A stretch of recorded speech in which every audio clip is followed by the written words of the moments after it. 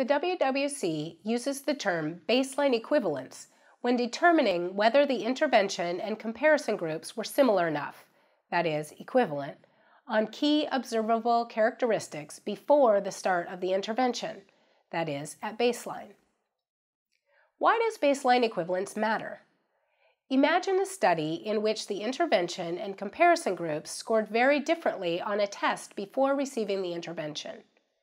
If the study also found that the groups scored differently after receiving the intervention, how would we know whether those differences were due to the intervention or to the fact that one group's members were already ahead before they received the intervention? If the groups were not similar when the intervention began, something other than the intervention could be causing any difference in measured outcomes between the groups.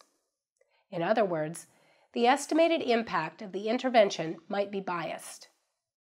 Recall from the attrition module, which is Module 2, that bias is a systematic difference between the true impact of the intervention and the estimated impact, which can lead to incorrect conclusions about the effect of the intervention.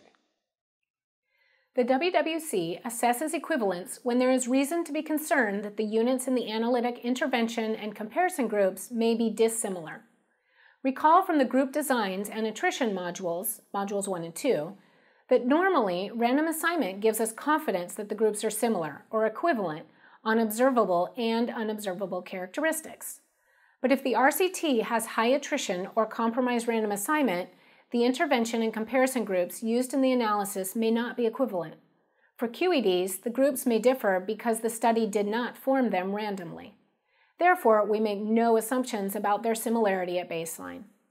Because of these concerns about the similarity of the groups and the potential for bias if the groups are different, the WWC requires QEDs and RCTs with high attrition or compromised random assignment to demonstrate that the intervention and comparison groups were equivalent on observable characteristics at baseline in order to meet WWC group design standards with reservations.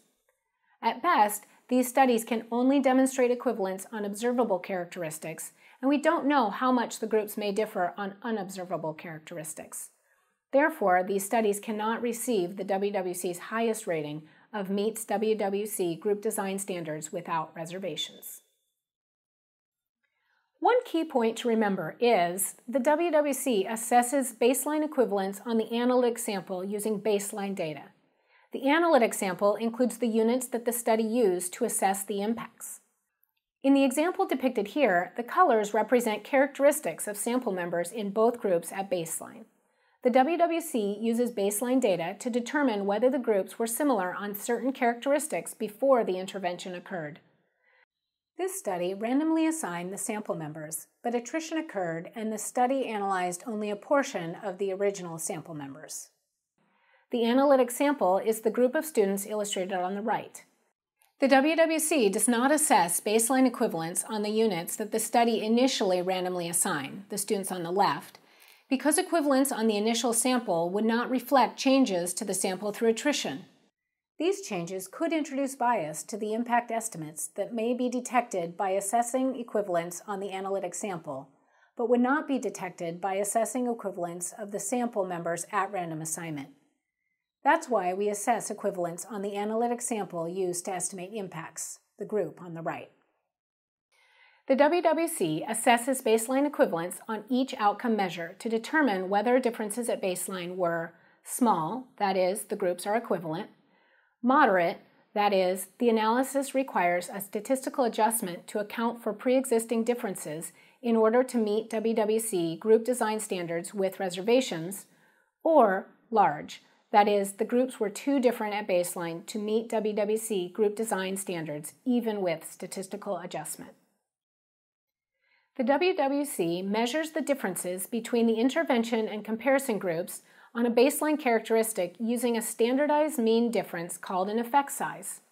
The effect size is expressed in standard deviation units based on the variation of the baseline measure in the analytic sample. The WWC standard for baseline equivalence establishes the relationship between effect sizes and the three possible equivalence results. This slide illustrates the standard.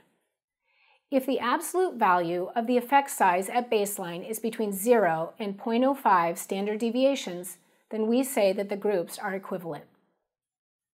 If the absolute value of the effect size at baseline is larger than 0.05 and less than or equal to 0.25 standard deviations, then the WWC says that the study must use a statistical adjustment in the analysis to demonstrate equivalence. A statistical adjustment allows the analysis to account for the differences between groups that the study observed at baseline. We will talk more about acceptable statistical adjustments later in the module. And finally, if the baseline difference is greater than 0.25 standard deviations, then the WWC says that it does not demonstrate equivalence. The baseline differences are too large for the study to address with a statistical adjustment.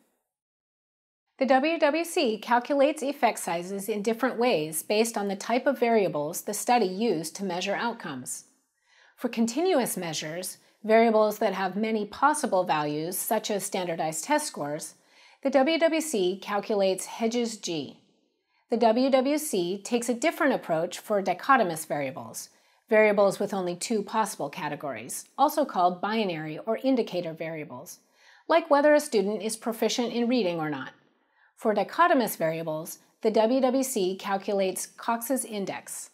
Both of these measures express the effect size in standard deviation units based on the variation of the baseline measure in the analytic sample. We'll walk through how to calculate effect sizes in the next few slides. The WWC's Study Review Guide has tools to assist with these calculations as well. For continuous variables, the WWC calculates Hedges G to determine equivalence. Hedges G is a common effect size indicator. For a given baseline characteristic, it is the difference between the average of the characteristic for intervention group members and the average of the characteristic for comparison group members divided by the pooled standard deviation of the characteristic. The pooled standard deviation is the weighted average of each group's standard deviation. Here's the formula for Hedges G, which includes an adjustment for small sample sizes. Note that in the formula, y represents the mean of the outcome measure, n is the sample size, and S is the standard deviation for a group. The I and C indicate the intervention group and the comparison group, respectively. The effect size estimate is the difference in group means, yi minus yc in the slide, divided by the pooled standard deviation, which is the quantity in the denominator with the square root sign. Notice the omega included here. This is a small sample size correction. Without it, the effect size estimate would be biased in small samples. This formula, along with all of the important formulas the WWC uses, is in the WWC Procedures Handbook. Let's walk through an example of how to calculate equivalence for a continuous variable. In this example, we have the sample sizes, means, and standard deviations on a continuous measure for an analytic sample at baseline. The mean in the intervention group is 25, and the mean in the comparison group is 20. The standard deviation is 10 in both groups. Plugging these numbers into the Hedges G equation, we find that Hedges G is 0.5 standard deviations. This means that the intervention group average at the pretest is one half of a standard deviation larger than that of the comparison group. On this measure, the groups do not demonstrate equivalence at baseline, as the effect size is greater than 0.25 standard deviations. For dichotomous variables, which are those with only two possible categories, the WWC uses a version of Cox's index to calculate equivalence. Cox's index is designed to produce an effect size measure that is comparable to Hedges G, but the formula for Cox's index relies on more complex mathematical functions than Hedges G. Here's the formula for Cox's index. The formula includes logarithms, written as L, N, and a calculation called an odds ratio. Without going into detail about the mathematical concepts, Cox's index applies a logarithm to the odds ratio for the intervention group, subtracts the same for the comparison group, and then divides by 1.65. Like the formula for Hedges G, it includes a small sample size correction denoted by the omega. You'll find more information about this formula in the WWC Procedures Handbook. This example walks through how to calculate Cox's index manually. In the example, 100 youth are in the intervention group and 50 youth are in the comparison group. The intervention group is 45% white, while the comparison group is 47% white. On this measure, the groups are equivalent at baseline, as the effect size is negative 0.049 standard deviations.